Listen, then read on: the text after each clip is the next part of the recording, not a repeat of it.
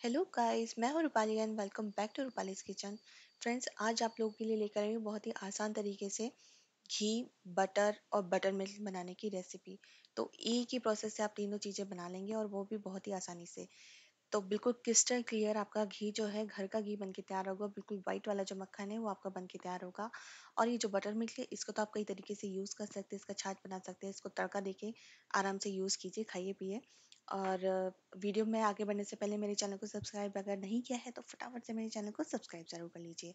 तो यहाँ पे मैंने क्या किया है, यहाँ पे मैं क्या कर रही हूँ एक्चुअली मैं मलाई इकट्ठी कर रही हूँ। जो दूध के ऊपर, जो अपनी ऊपर की मलाई आ जाती है ना, उसे मैं इकट्ठी कर रही हूँ। तो ये है मेरी पंद्रह दिन की मलाई। जी हाँ दोस्तों, मलाई बहुत अच्छी आ जाती है और ठंड के दिनों में तो स्पेशली बहुत ही अच्छी मलाई आ जाती है।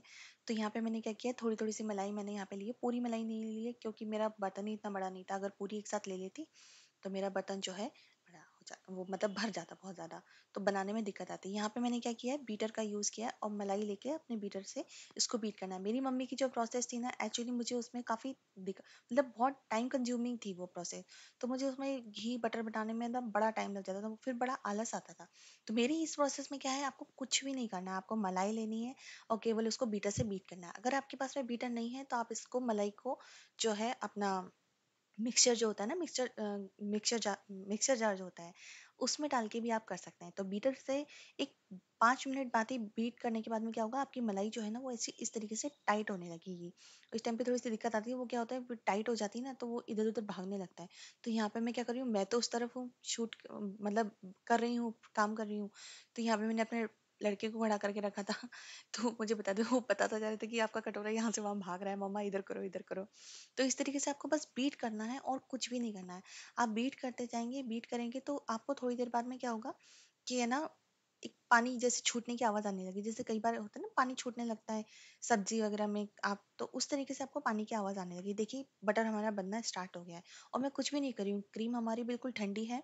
और उसको हमें बीट करना है और बीट करने के बाद में धीरे धीरे उसको बीट जैसे जैसे आप करते जाएँगे तो उसमें से पानी जो है वो अपने आप अलग होने लगेगा। जैसे गाँव वगैरह में होता था ना, पहले मथनी होती थी, वो औरतें क्या करती थी, बैठ जाती थी और धीरे धीरे उसको घिलाती रहती थी और मथनी से मथती रहती थी और फिर उसमें से छाछ और वो अलग हो जाता था। और मेरी मम्मी की जो प्रोसेस थी, उसमें मम्मी उसमें दही मिक्स करती थी। आप देख सकते हैं, अब इसमें से जो है बटर मिल्क जो है वो अलग हो गया है। देखिए, टपकता हुआ दिख रहा है है ना? तो बस मैंने क्या किया, उसको केवल बीट किया है अब ये जो है हमारा बटर अलग हो चुका है और इसमें से बटर मिल्क अलग हो गया है।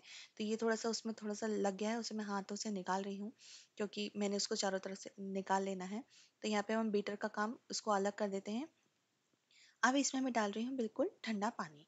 तो ठंडा पानी इसमें डाल देंगे। अगर बर्फ़ का पानी, बर्फ़ ना, ठंडा पानी ना हो तो आप यहाँ पे बर्फ़ भी यूज़ कर सकते हैं और मटके का पानी भी इवन चल जाएगा, क्योंकि मटके का पानी में काफ़ी हद तक ठंडा ही होता है।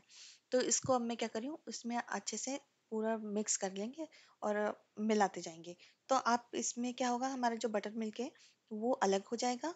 ठंडा पानी को यूज़ करने से और बटर जो है हमारा, वो आपस में जॉइंट हो जाएगा और उसके गोले गोले बना के हमें निकाल लेना है। तो अब हम इसको पानी डालने के बाद में जो है बटर में से बटर अलग निकालेंगे। निचोड़ निचोड़ के, देखिए मेरा कटोरा जो बाउल है, वो फिर उधर से भाग गया था। फिर उसको उसने बताया कि फिर इधर लेकर आया।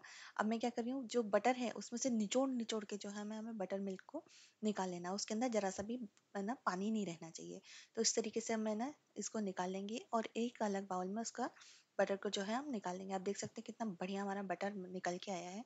तो इसी तरीके से मैं पूरे बटर में से बटर मिल्क को अलग से निकाल लूँगी और बटर को अलग से निकाल लूँगी। तो गाइस अगर आपको ना, मेरे चैनल मेरी वीडियोस अगर पसंद आती हैं और ये वीडियो भी अगर पसंद आती है तो इस वीडियो को लाइक ज़रूर कर दीजिएगा और मेरे चैनल को ना सब्सक्राइब ज़रूर कर दीजिएगा। सब्सक्राइब करने के ये देखिए, आप पीछे मेरा छोटा सा बच्चा देख रहा है। वो भी देख रहा है कि मम्मा क्या कर रही है। तो मेरे घर में तो हर पंद्रह दिन में ऐसी बढ़िया वाली मलाई इकट्ठी हो जाती है। वो भी किस तरीके से करनी है, अगर मोटी मलाई आपको चाहिए तो वो भी मुझे बता सकते हैं। तो वो मैं आपको बताऊँगी। तो यहाँ पे मेरा बटर और बटर मिल्क दोनों निकल चुका है। तो अब हम बनाएँगे बटर से घी बनाने की प्रोसेस हम चालू करेंगे। तो यहाँ पे मैंने लिया है, एक पैन रख दिया है, उसमें अपने कुछ भी नहीं, हमें क्या करना है, अपने जो बटर है उसको मेरे को डालना है। तो मैंने यहाँ पे पूरा अपना जो बटर है उसको यूज़ नहीं किया था, क्योंकि मुझे तो बटर भी दिखाना था, है ना थंबनेल बनाना था मुझे। तो मैंने यहाँ पे अपना आधा जो है वो बटर लिया है, उसको डाल दिया। अब इसको हमें करना है गर्म। कुछ भी नहीं अब हमें करना है गर्म। इस प्रोसेस से अगर हम लोग बटर बनाते हैं और बटर से घी बनाते हैं तो, तो नीचे के जो निकलता है ना जला हुआ वो बहुत कम निकलता है। आप देखेंगे लास्ट में बिल्कुल ही कम निकला है। और क्या होता है अगर डायरेक्ट हमने मलाई को उसमें डाल दिया तो नीचे का जो बॉटम में जो जला हुआ होता है ना वो बहुत ज़्यादा निकलता है। तो वो वेस्टेज ही होती है। इस तरीके से आप अगर घी बनाएँगे इसको सिर्फ़ गर्म करना है हमें हमें कुछ भी नहीं करना है। धीरे धीरे जो है उसका जो मटेरियल जो रहता है उसमें वो जल, नीचे जलने में अलग से आ जाएगा और हमें इसको अच्छे से जला लेना है। उससे क्या होगा हमारा घी जो है ना बिल्कुल क्रिस्टल क्लियर बन तैयार होगा और काफ़ी लंबे टाइम तक हमारा जो घी है वो बन तैयार हो जाएगा और आप उसको काफ़ी लंबे टाइम तक स्टोर करके रख सकते हैं। तो यहाँ पे मेरा घी बन तैयार हो गया मैंने गैस को कर दिया है ऑफ़। आप देख सकते हैं नीचे जो है वो मटेरियल जला हुआ वाला कितना कम निकला है। अभी मैं पूरे घी को जब छान के बताऊँगी आपको, तब आपको दिखेगा। और घी बिल्कुल क्रिस्टल क्लियर बन के तैयार हुआ देख सकते हैं आप कितना बढ़िया हमारा घी, घर का घी, बच्चों को खिलाएँगे, बिल्कुल हेल्दी होता है घर का घी। बच्चे बड़े सबके लिए, हेल्थ के लिए बहुत ज़रूरी होता है ये।